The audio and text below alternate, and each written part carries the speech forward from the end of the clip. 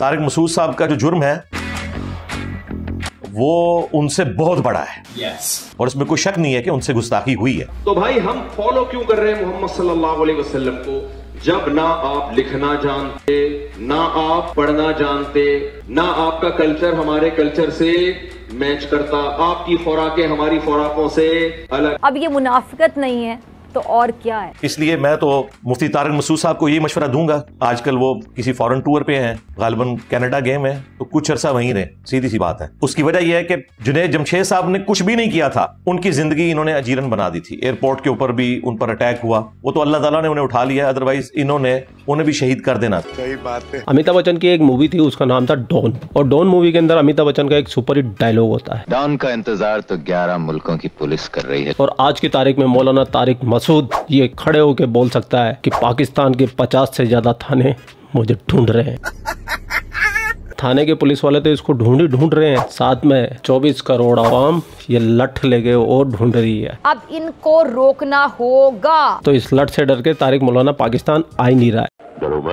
और सबसे कमाल की बात बताऊँ तारिक मसूद पे मैंने वीडियो बनाया था सबसे पहले। वो इसने देख लिया बंदे ने जिसमें मैंने ये बोला था इसको पूरी दुनिया से लोग बुलाते हैं। मुझे इसलिए पता है क्योंकि इसका एक ब्लॉग चैनल भी दुनिया में जिस भी मुल्क में जाता है वहाँ के वीडियो बना के डालता है। तो कभी कभार मैं भी देख लेता हूँ। क्यों? क्या जहालत फैलाते हैं विदेशों में जाके? ये किस टाइप की इनकी सोच है? तो मुझे इसके बारे में पता था कि विदेशों में जाता है, वहाँ भी तकरीरें करता है। ऐसे ये कनाडा में गया हुआ था और कनाडा में जाके इसने एक तकरीर की। अब तारिक मसूद ये बोल रहा है। हिंदू लोग कमेंट्स कर रहे होते हैं, ये मौलवी लोग जापान जा रहे हैं कभी? कभी ये मौलाना अमेरिका जा रहा है, कभी ये मौलाना हांगकांग जा रहा है कभी ये मौलाना लोग फलानी जगह जा रहे हैं। देखो तारिक साहब मैं हिंदू हूँ तो आपको बुरा लग रहा है कि मैं आपके ऊपर वीडियो बना रहा हूँ क्योंकि ये आग आप ही की लगाई हुई है और इस आग में सब जलेंगे। नहीं यकीन आता है तो आप ये वाला डायलॉग भी सुन लीजिए। मैं पूरी ज़िम्मेदारी के साथ ये फतवा देता हूँ आप हजरात को पूरी ज़िम्मेदारी के साथ।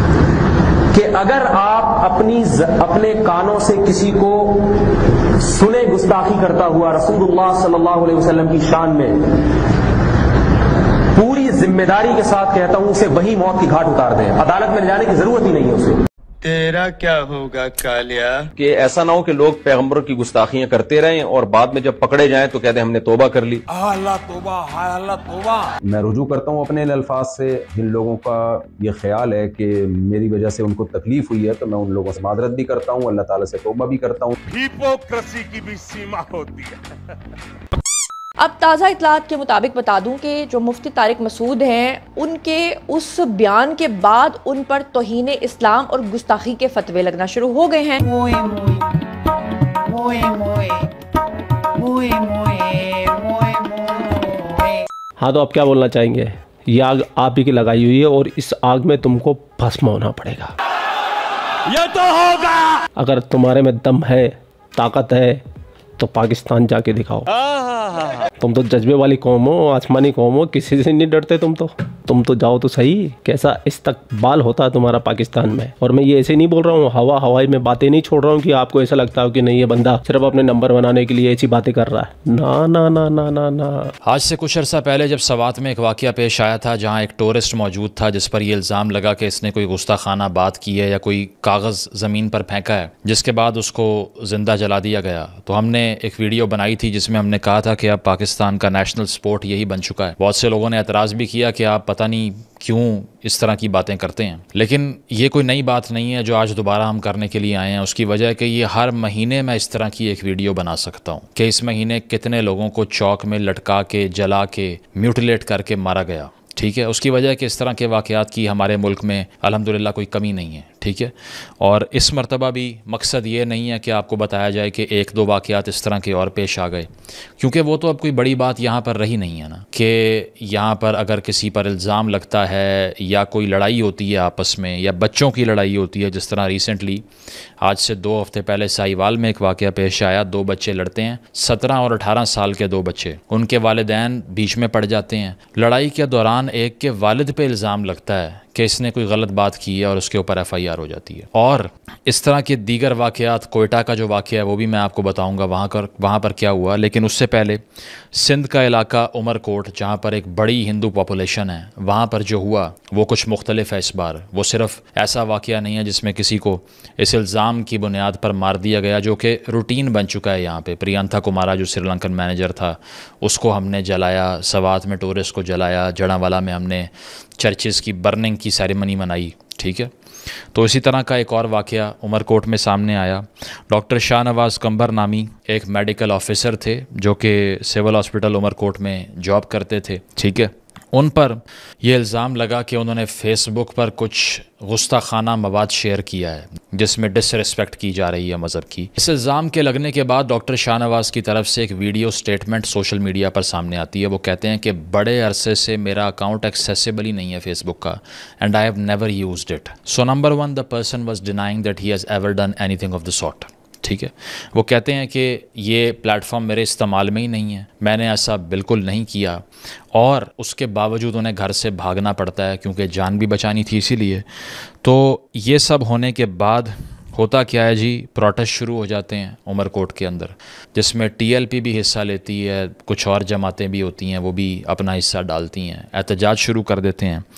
एहतजाज करते करते ये तो कभी हुआ ही नहीं ना इस मुल्क में कि एक मॉब सड़क पे आया हो और वो रियासत का मज़ाक उड़ा के ना जाए, तमस्खर उड़ा के ना जाए। तो इसी तरह इस बार भी मॉब ने आग लगा दी पुलिस की वैन को तोड़ फोड़ की, प्रेशराइज किया और इसके बाद में पुलिस एक्शन लेने पर मजबूर हो गई। तो होता क्या है कि पुलिस की तरफ़ से डॉक्टर शाह नवाज़ को गोली मार दी जाती है, एक्स्ट्रा जुडिशली उनको कत्ल कर दिया जाता है। और जब पुलिस से सवाल होता है कि ये आपने क्यों किया तो उनका जवाब ये था, जो पुलिस के रिप्रेजेंटेटिव्स हैं वहाँ के उमरकोट के जो और मीरपुर ख़ास की जो पुलिस है, उन्होंने ये कहा कि हमने इसीलिए नहीं, उसको मारा, वो नाके पे रुका नहीं था, इसलिए हमने फ़ायर कर दिया। हमें नहीं पता था ये वही आदमी है जो ब्लासिमी के केस में वांटेड है। पहले तो आप कवर अप देखिए, ठीक है?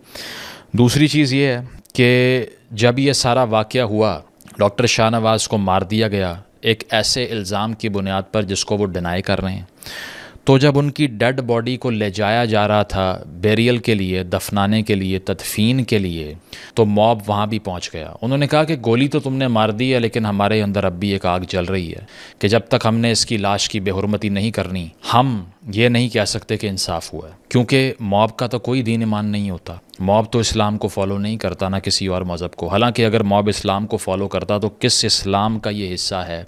आप सब कमेंट्स में लिख के बता दीजिए। कि एक शख्स जिस पे एक इल्ज़ाम लगा, जिसने वो डिनाई कर दिया ट्रायल शुरू होने से पहले एक तो उसे गोली लग गई। और गोली लगने के बाद जब उसकी लाश को दफनाने जा रहे हैं तो मॉब ये कह रहा है कि ऐसे थोड़ी दफनाने देंगे। पहले तो इसको आग लगाएँगे। पहले यहाँ पर एक बॉन फायर करेंगे इसका। अगर कोई मुझे ये बता देना कि ये किसी भी दुनिया के मज़हब का हिस्सा है, कि इस तरह से विक्टिमाइज़ करना किसी को और कुछ साबित होने देने से पहले, चलें, ये सारी जितने भी केसेस में आज कोर्ट करूँगा ना, मैं मान लेता हूँ सबने ये हरकत की है, जिसका उन पर इल्ज़ाम था। लेकिन ज़िंदा जलाना कहाँ लिखा हुआ है? ये बता दीजिए सिर्फ़, ठीक है? Number one number two protester वहाँ पे इकट्ठे हो जाते हैं और वो लाश को जला देते हैं, ठीक है? और उसको म्यूटिलेट करते हैं। तशद होता है एक मरे हुए इंसान के ऊपर, सही है? इस दौरान इस सारे वाक्य के दौरान एक ड्राइवर था जो गाड़ी चला रहा था। वो ड्राइवर था प्रेमो कोहली नाम है उसका। उमरकोट में एक बहुत बड़ी हिंदू पॉपुलेशन है। एक हिंदू ड्राइवर जिसके धर्म और मज़हब में लाश को जलाना is a ritual is a religious practice वो अपनी जान पे खेल जाता है ऐसे मुसलमान को बचाने के लिए, जिसके मज़हब में दफनाया जाना इज़ अ प्रैक्टिस वहाँ खड़े हुए तमाम मुसलमानों में से किसी एक को ये जहन में नहीं आता कि हमने, हमें इसको जलाना नहीं चाहिए, ठीक है? लेकिन एक हिंदू जो है who was driving the car is fighting for is burial for the burial of the ex boss who was a Muslim और वो वहाँ से बचा के इस बॉडी को लेकर निकलता है अपनी जान पे खेल के। हालाँकि उसको भी मारने लगे थे। और फिर वो जो भी रिमेन्स बचते हैं ना डॉक्टर शाहनवाज के अवल तो रिकग्नाइजेबल ही नहीं था जहाँ तक मैंने लोगों से बात की है। तो उनको दफनाता है प्रेमो कोली नाम का आदमी।